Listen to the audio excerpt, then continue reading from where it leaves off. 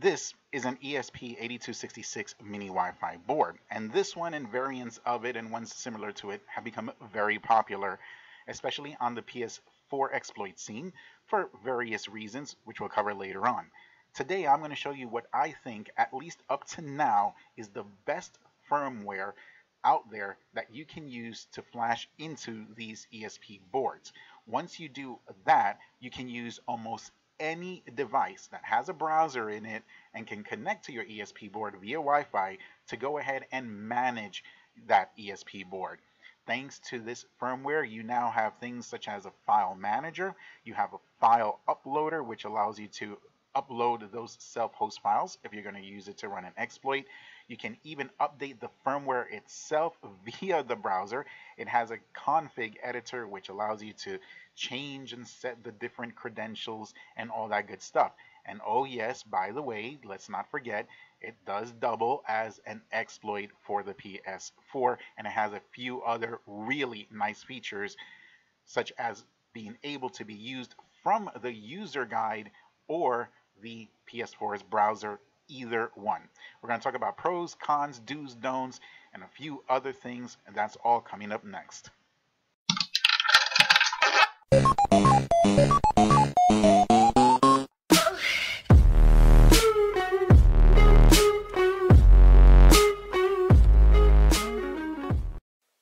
Hey guys and welcome to the video and yes here today we are going to focus primarily on this firmware for the ESP8266 Wi-Fi boards. And the boards that I use are identical to the one I'm showing you here, and that was in the intro. They're exactly like this one. However, this should work on any ESP8266 Wi-Fi board. Now, this firmware is actually pretty straightforward and easy to use. So I'm not going to go over every detail, but I will give a brief summary on how to use all the major stuff here. I won't be covering, you know, what the exploits are for and how to use them and things like that. There's already a bunch of tutorials out there, but I will touch base a little bit on the host files and, you know, uploading them and whatnot. And then at the end, I'll show you all of this running on the PS4 uh, itself. And right now I'm going to just give you a brief tutorial on what I one of the tools that I use to easily flash these ESP boards via the PC. So let's go ahead and let's jump into it and get started. Oh, and by the way, if you are going to use this to run a PS4 exploit, note that this will work either through the user guide method or through the PS4's browser.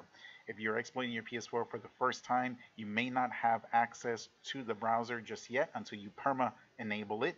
And so if you don't, this will work just fine going through the user guide, which I'll show you here in a little bit. So let's go ahead and let's get started first. For those of you who are new, I'll put a link in the description so you can come here and download Node MCU PY Flasher 3.0. You'll download the one that pertains to your system. This program is probably the easiest way to flash your ESP device on your PC, which we're going to cover in a little bit. It is mega easy. Down in the description, I will also leave a link to my GitHub page. I suggest you bookmark this if you're interested in my exploits and playgrounds and stuff, because everything here, when I update it, this is where it's going to get updated to first. So just when you bookmark it, you know, periodically check in if you're interested in it and check to see if there's an update. On this side uh, is the main playground. This is where all the self-host files are at in this zip file. I made a video, which I will also link in the description. I made a video before that shows you once you've enabled your PS4 web browser how to self-host files either on your PC, on your phone, or whatever. And honestly, you should follow that video's tutorial if you plan on using this one because this is the large one. This is the big daddy, and there is, and it's only going to get bigger. There is no way that ESP will be able to host all of this. So if you're interested, again, just follow the tutorial in that video. For today, we are going to go ahead and go here to the ESP8266 side. Go ahead and download the zip, and when you do, take this bins folder and just drag it to your desktop, and that's where we're going to go to next. All right, so now that you've unzipped that bins folder, let's go ahead and open it. You will find two bin files there. The firmware only one, well, contains just the firmware to flash into your ESP uh, 8266 board. The complete one is the same thing. It contains this admin firmware, but it also contains my 505KMZ exploit playground, and it already has all those files in there. So that's the difference between the two. So let's go ahead and run that Node MCU PY flasher that you downloaded earlier. Okay. Uh, before that, go ahead and just plug in your ESP board uh, to your PC. If it has a flash button, you do not need to hold it down. Just go ahead and plug it in. Okay. You should have already set up the port and everything like I have here. Now on my board, on this particular ones, the baud rate needs to be set at 115-200 uh, dual IO diode should be selected and I always recommend that you select yes wipes all data so it wipes out the board and it does a nice fresh clean install and then you're going to browse unfortunately you can't drag and drop um, and browse to whatever bin you want to use and let's do the complete one all right now your board again may be a little bit different and some of these uh, options here might need to be changed. You're just going to have to look into it. Now, once you have all this set up, literally all you need to do is just flash the node MCU and then wait till it finishes.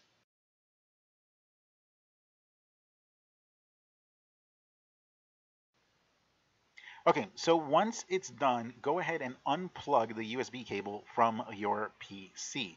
Now, once you flash this firmware, whether it's the complete version or the firmware version only, it doesn't matter anytime you flash this firmware onto your ESP board, I always recommend you do the following. Go ahead and unplug it and then plug it into any USB port you want. And once you've plugged it in, wait a couple of seconds. And if your model happens to come with a reset button like this one does right here, after you've plugged it back in, press the reset button, hold it for like three or four seconds, and then let it go. This will ensure that you do a proper reset, reboot, of the board and then within about 5 to 10 seconds after that you should see the Wi-Fi pop up. Now it doesn't matter where you plug this into because once it's been flashed from now on everything that we do will be done via Wi-Fi. It will not transmit or transfer data via the USB cable. The USB cable is only going to be used as a power source. And I recommend if you're going to use this for a PS4 exploit that you don't plug it into your PS4. People have reported using various things on 505 exploits that whenever something is plugged into a USB port, sometimes it causes kernel panic. So just to make sure and to be on the safe side, you can plug it into the USB port of your router, of your TV, or anywhere else. Okay, so once you've done all of that, you can go ahead and close up everything. And now let's go ahead and connect to the ESP board. Again, I'm using my PC, but at this point you can use anything with Wi-Fi pretty much that has a browser in it in order to connect to the ESP. Um, let's go ahead and look for it. And there it is, PS4 KMZ ESP. And you can change this later on very easily. The password is password. 110% secure. Of course, you can change that as well. Now, once it's made the connection, let's go ahead and open up the browser and you're going to type this address here, 10.1.1.1 forward slash admin.html and it's all lowercase and then let's press enter and we should be able to connect and there we go. So here, this page that's showing is the ESP information page. You can actually see um, some vital information about your ESP board in real time. Um, it shows you um, how much space is being used and whatnot. So yeah, uh, that's that. If you installed my complete uh, bin file, then when you go into the file manager, you're going to see all my files for uh, the exploit. Whenever you upload files, this is the location where the files are uploaded to. They will be located in your file manager and here through the browser, you can download these files into your device that's connected to it or you can delete these files right from here. Whenever you want to upload files, self-explanatory, go into File Uploader, select the files you want, and you can batch select. And then just upload them. When they're done, those files will appear here in the file manager. If you chose to only uh, do the firmware only bin, when you come here to file manager, then this will be empty and then you'll have to upload your files. If you're going to use this for a PS4 exploit, then you need to make sure that the self-host files that you upload have an index.html file because that's the one that this uh, firmware looks for. Um, or if you're going to use it for anything else, and there's the index.html right there. Once the proper self-host files have been loaded up, when you come here to the main page, it will display that index.html right here. Now, if you don't have anything in your file manager, when you come here to the main page, it'll just say PS4 payloads and the page will be blank. Here in config editor, you can of course change the login credentials and whatnot. Once you save it and you make those changes, you're probably going to instantly disconnect if you, you know, change the password and whatnot, and you'll just have to reboot the ESP again and then log back into it again firmware update, I'll put the um, instructions down in the description. You can download a firmware for this. You need to rename it a certain way. I think it's called fwupdate.bin and then put it somewhere. You select file, go to that bin, um, select it, and it will update it and it will flash uh, when you hit reboot on your uh, ESP, it will reflash it with that firmware. Of course, if that firmware is different from this one, then this firmware here will be gone and you'll have to do the previous steps in order to put this one back into your system. Storage format means everything in your file manager will wipe out. Since here you can only do one file at a time, if you decide you just want to start all over and you want to wipe out all of these files, go to storage format, hit that, and then everything in your uh, file manager here will disappear and uh, and yeah, that's pretty much it. Everything else you can you know figure out on your own. It's pretty easy and straightforward. Okay, so here we are at the PS4. Let's go ahead and go into network. And anytime that you flash new firmware and updated firmware or whatever to these ESP boards, just to ensure that the you know connection um, goes smoothly and everything, I would suggest you follow this method I'm going to show you. Go ahead and go into setup. Let's go into Wi-Fi go into custom and then look for it. Here it is. Okay, and then of course the password here is password unless you've changed it. All right, and once you've done that, you're pretty much going to set everything to automatic. And here, do not use and automatic, automatic, do not use. All right, and then if you want, you can test the connection. And that's it. That's all you got to do. Let's go to the user guide. And if you installed an exploit of any kind, then there it is. It's going to show and you can start using it. If your PS4 web browser hasn't been enabled yet, you can run pretty much almost any hen. Once that hen has been run, you can come here to your library, look for your web browser, go ahead and start it. And when it starts, you can go ahead and get out of it and you should see it from now on here on your main screen and it should be permanently enabled. You can run this either from here from the browser or the play uh, the uh, user guide. It doesn't matter. As you can see it always reverts back to the main page to whatever self-host files you have running and it will look for the index.html file.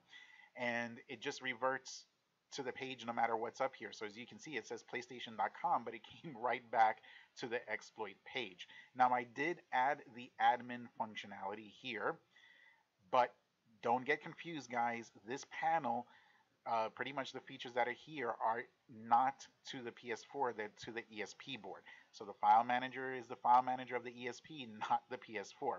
Now the PS4 is not a PC, so most of the stuff here um, doesn't have functionality, you can delete files, you can clear out the storage, you can change the uh, uh, you know login credentials from here. Of course, when you do that, if you change them, it should instantly disconnect.